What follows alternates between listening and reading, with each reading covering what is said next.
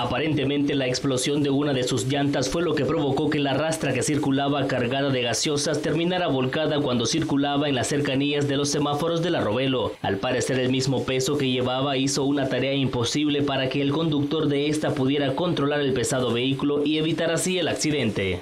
Se le explotó la llanta. Entonces el, el camión se le jaló a su lado izquierdo.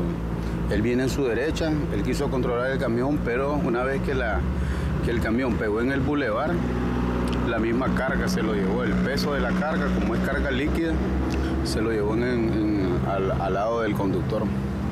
Entonces, al subir el, el bulevar, lógicamente la carga donde se movió, eso provocó el volcón. ¿Acaba de salir de la empresa él? Él acaba de salir de la empresa.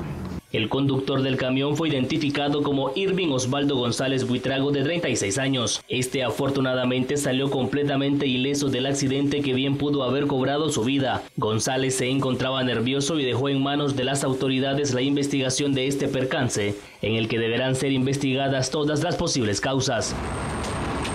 Los oficiales tuvieron que cerrar esta vía y desviar el tráfico por la magnitud del percance que solamente dejó cuantiosas pérdidas materiales para la empresa que distribuye este tipo de bebidas.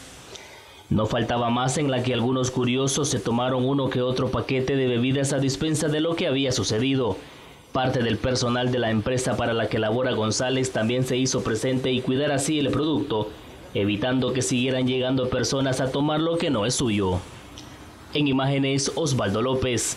Este es un reporte de Julio Cruz en Crónica TN8.